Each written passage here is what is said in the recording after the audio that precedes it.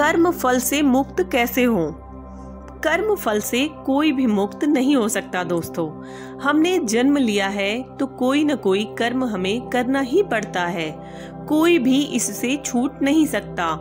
किंतु भगवत गीता के अनुसार निष्काम भाव से फल की इच्छा किए बिना कर्म को सिर्फ़ अपना कर्तव्य समझकर करना ही कर्म बंधन से मुक्ति पाने का एकमात्र उपाय है। भगवान श्री कृष्ण कहते हैं, कर्मण्य वाधिकार अस्ते माँ फलेसु कदाचना। माँ कर्म फल हेतु भुर्माते संगोष्ठ व कर्मणि। यानी तेरा कर्म करने में ही अधिकार है। उसके फलों में कदापि नहीं। इसलिए तू फल की इच्छा से कर्म मत कर और न ही ऐसा सोच कि फल की आशा के बिना कर्म क्यों करूँ।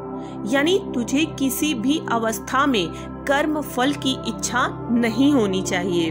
भगवान श्री कृष्ण कहते हैं कि निष्काम कर्म ही कर्म योग की श्रेणी में आता है।